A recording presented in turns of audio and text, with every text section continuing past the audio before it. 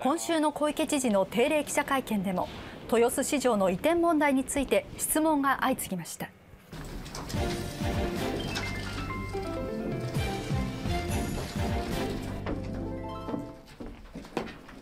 今回あの議会の方でお決めになりましたあの、えー、特別委員会、えー、百条委員会、えー、それぞれあのむしろ議会の皆様方の方が詳しい場合もあろうかと思いますので直接聞き出していただくということにあの見守っていきたいと思っております。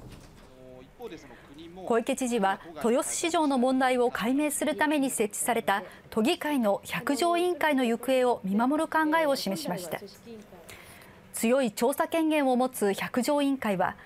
築地市場の移転先として豊洲を選んだ経緯や東京ガスとの土地の買収交渉の過程などについて調査することにしています。今日は午前10時半から審議の内容を検討する理事会を始めました。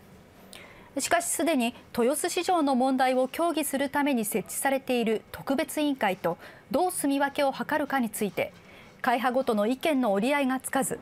途中で6時間以上中断するなど調整が難航しています。また市場移転を決めた当時のトップ石原元知事の承認喚問は来月18日から20日の間に行う案などが検討されています。石原さん呼ばれたら行かれますか承認喚問に関して改めてお気持ちを伺わせてください。いらっしゃい記者会見こんばんは。2月24日金曜日の東京 MX ニュースです。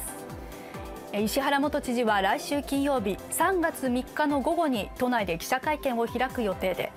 豊洲市場の移転を決めた当時のトップとしてどう説明するのか注目されています。